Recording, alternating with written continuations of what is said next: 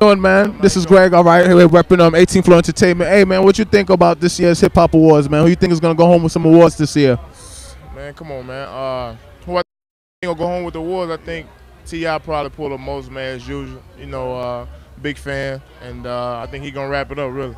Okay. All right. Now, what about you and your career on the team? What's what's going on? What can we expect from you this year going on in the season? Yeah, I'm, I'm, I'm gonna do I'm gonna do everything I can. Uh, you know, I came I came to Atlanta, man, to help turn this organization around, and uh, right now we, we're up and coming, and we got a lot of new faces this year, so be on the lookout for us. Definitely, man. It's good talking to you, man. Thanks a lot, man. All right. You just heard that from 18 Floor Entertainment now.